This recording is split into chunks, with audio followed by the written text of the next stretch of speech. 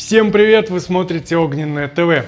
Сегодня я хочу попробовать сделать бронированное стекло из тех материалов, которые можно купить в обычных не специализированных магазинах.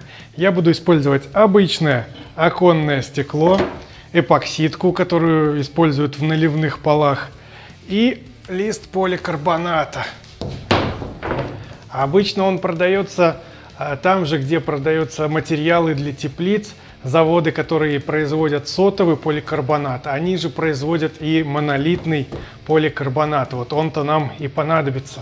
Поликарбонат очень похож на обычное оргстекло, но он более тягучий, он не склонен к растрескиванию и просто так надрезать и сломать не получится, нужно только пилить. А, пилить циркуляркой левой рукой, ой, одно удовольствие. Также поликарбонат достаточно устойчив к царапинам, поэтому если берете себе защитные очки, то обращайте внимание на то, из чего они сделаны. Очки из поликарбоната очень сложно поцарапать и они сохранят свою прозрачность долгое время. Склеивать стекло с поликарбонатом я буду с помощью эпоксидки и, чтобы не испачкать мой чистейший стол, я заматываю его в пленку. Эпоксидку использую ту, которую использовал ранее для рисования 3D картины. Если не смотрели то видео, то очень рекомендую посмотреть. В конце сделаю на него ссылку, если не забуду, конечно. Чтобы склеить стекло с пластиком, нужно заливать много смолы, так, чтобы избыток вытекал по сторонам, Первый раз я не подрасчитал, но потом добавил еще смолы и кое-как приклеил. Да, кстати, я собираюсь клеить три бронированных стеклопакета. Двухслойный, то есть одно стекло и один лист поликарбоната. Четырехслойный и шестислойный, в которых слои стекла и поликарбоната чередуются. Немного потренировавшись, у меня даже стало хорошо получаться, и последние слои пакетов склеивались уже почти без пузырей. Слои, кстати, очень заметно уплывают, пока не загустела смола, поэтому приходилось их фиксировать кусками скотча. Ну, стеклышки готовы, я все по краям почистил, срезал лишнюю эпоксидку. Так, вот как это выглядит двухслойный бронированный стеклопакет. Тут, конечно, у меня получились пузырьки, наверное, будет на камеру видно. Вот, это был самый первый, самая первая попытка. Тут я не совсем понимал, как это надо правильно склеивать. Потом разобрался, и даже вот это стекло вообще получилось практически без пузырей. Только на первом слое такие самые большие пузыри, а дальше вообще почти без пузырей. Как, как заводское практически, кстати. Посмотрите, оно и выглядит почти как заводское. Такой же зеленый цвет и преломление. Примерно вот такие стекла стоят во всяких бронированных автомобилях. В принципе, бронестекло от этого стекла отличает только, наверное, то, что стекла закаленные. Но закаленные стекла это только половина дела. Очень важная штука это поликарбонат. Наверное, из всех этих образцов будет самый интересный все-таки вот этот, самый тоненький, потому что его можно применить в жизни. А, вот этот слой поликарбоната можно ну, достаточно легко наклеить с обратной стороны стеклопакета и защитить окна в каком-нибудь загородном доме, чтобы немножечко обезопасить свое жилище. Перед тем, как тестировать вот эти стекла, я хочу вам продемонстрировать, на что же способен сам по себе просто поликарбонат. Вот сейчас я отрежу небольшой кусочек и попытаюсь пострелять в него из пневматики. 4 миллиметра поликарбоната. Как думаете, прострелит пневматическая винтовка или нет? Напишите свои варианты в комментариях, потом будет интересно сравнить. Я закрепил небольшой кусок поликарбоната в этих тисках и буду сейчас стрелять из пневматики. Буду использовать самые легкие пули, которые у меня есть, а потом, если они не пробьют, то буду использовать самые тяжелые, которые у меня есть. Самые легкие это 0,29 грамма, и самые тяжелые это 0,96 грамма, практически грамм. Если они не пробьют, то они, конечно же, отскочат, поэтому я использую защитные очечки. А также я буду немножко стоять под углом, чтобы если отрикошетить, то летело куда-нибудь в сторону. Ай, надо хорошенько прицелиться.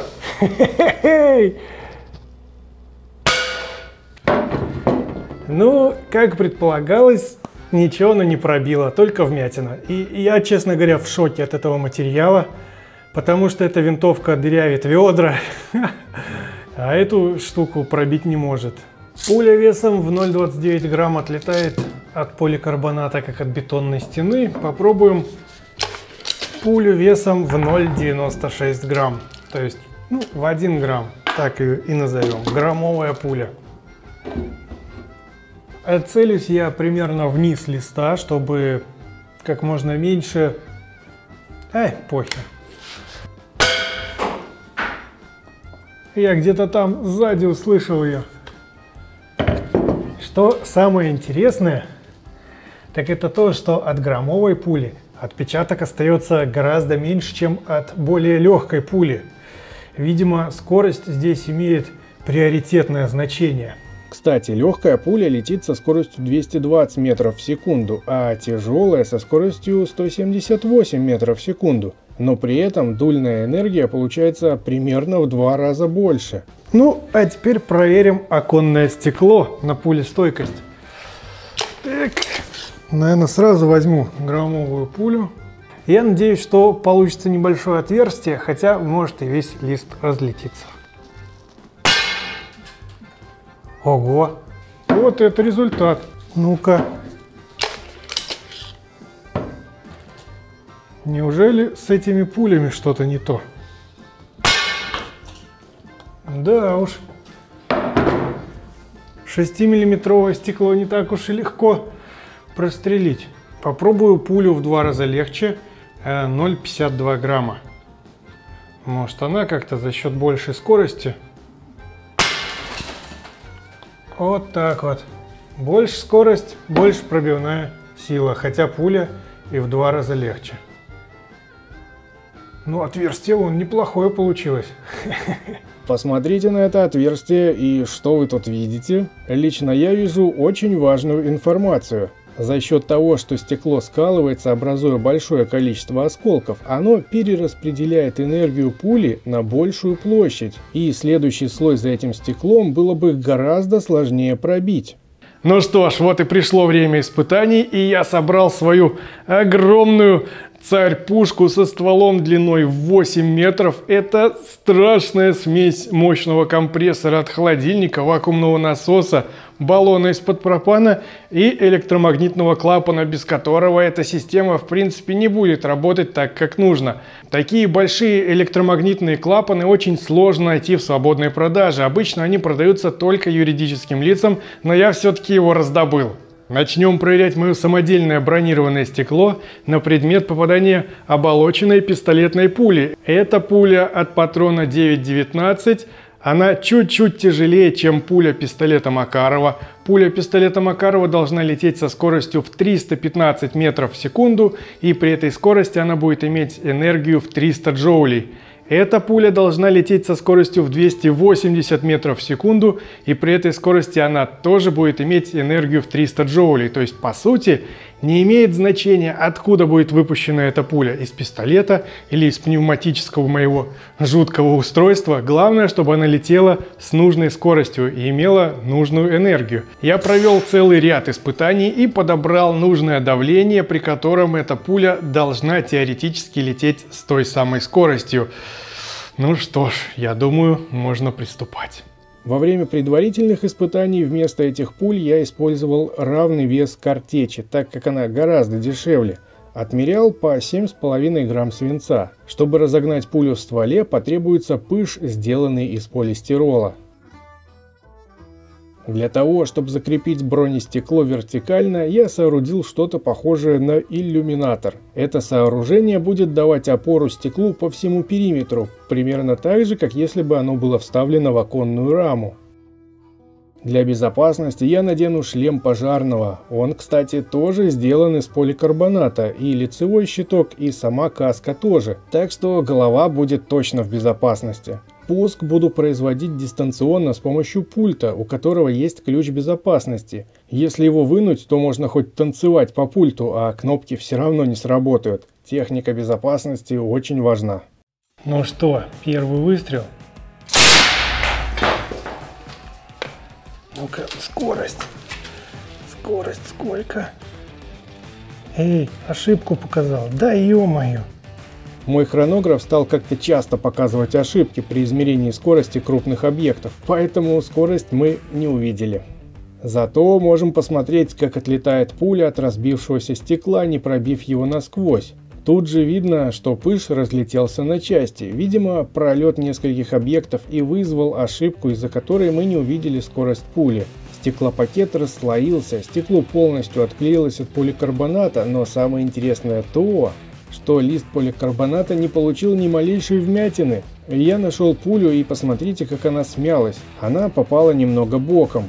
Кстати, вот так выглядит точно такая же пуля из патрона 9.19, но выпущенная из настоящего ствола с дульной энергией в 450 джоулей. Глядя на нее, можно предположить, что у нашей пули 200 джоулей точно было. Ну что, попытка номер два. Очень громко. Ой-ой-ой, как громко. Ну-ка. Блин, опять ошибка. О, зато Зато хотя бы на компе сработало. Ну-ка, сколько это получилось? 238. О, вмятина получилось. Все-таки получилось. Ну-ка. Да. О, и пуля прям здесь же выглядит примерно точно так же, как и предыдущая. В этот раз пыш вместе с пулей прилетели одновременно, но так как стекло уже отслоилось и висело в сантиметре от поликарбоната, то поликарбонат получил боевое ранение, хотя все равно остановил пулю. 238 метров в секунду при весе в 7,5 грамм – это 212 джоулей. Если учитывать, что пуля имеет сплошную оболочку, то это достаточно серьезное испытание для бронестекла. Сравните на вид две пули после первой и после второй попытки, они практически одинаковые. Посмотрите, как красиво кувыркается мой хронограф. В таких условиях я бы и сам отказывался работать и показывал бы результаты через раз. Ну что, господа, мочим? Да, ё-моё. Что ж так сильно-то, а? Да опять хронограф не показал. Да что ж, блин. Это был третий выстрел. Так как стекло полностью осыпалось, то стрелял я по незащищенному поликарбонату. Если кто-то говорит, что поликарбонат сам по себе является пуленепробиваемым, то это не совсем так. Пуля прошла через него на вылет и посмотрите внимательно вот сюда. Тут появляется небольшая темная точка. Хм, что бы это могло быть? Ой, да это же пуля. Она прошла через лист ламинированного ДСП толщиной в 18 мм и почти прошла насквозь второй лист. И когда ее выковырял, оказалось, что она даже не помялась.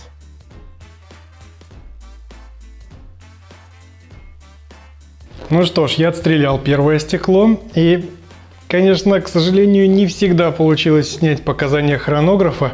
Когда я пристреливался, листы ДСП стояли дальше, и потоки воздуха не возвращались назад и не сдували все, что, все, что встречается на их пути. Все три выстрела делались при одинаковом давлении, и, по-моему, получилось только у одного снять показания 238 метров в секунду. Это больше 200 джоулей. Два остальных выстрела должны были получиться либо такими же, либо все-таки сильнее, потому что когда я пристреливался, у меня получалось достигнуть при том же давлении энергию в 300 джоулей в 283 метра в секунду. Теперь я возьму следующее стекло, у которого 4 слоя, 2 стекла и 2 поликарбоната – Заряжу самую тяжелую пулю для 12 калибра, накачаю баллон по полной, отодвину ствол подальше, чтобы хронограф не сдуло, и попытаюсь выстрелить и измерить скорость пули. Вот, попытка будет только одна, поэтому надо постараться все сделать очень четко. Ну, самая тяжелая или не самая тяжелая, не знаю, но лично у меня это самая тяжелая пуля. Итак, насчет три. Раз, два, три.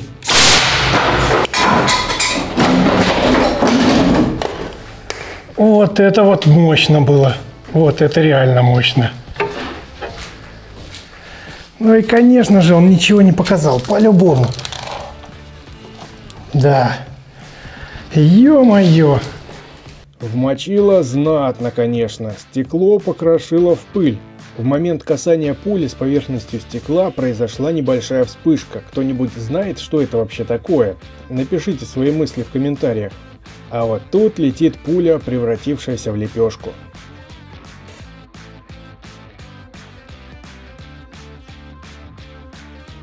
Спереди стеклопакет выглядит слегка потрепанным, а с обратной стороны ему вынесло огромный кусок поликарбоната и раскрошило предпоследний слой стекла. При этом один внутренний слой поликарбоната остался нетронутым, он даже не помят. За стеклопакетом нет ни одного крупного осколка стекла. Все осколки стекла выглядят как песок и мелкие крупинки. Это значит, что такой стеклопакет не только остановил пулю, но и не образовал опасных осколков. Вот это вот результатик, конечно. Это вообще класс.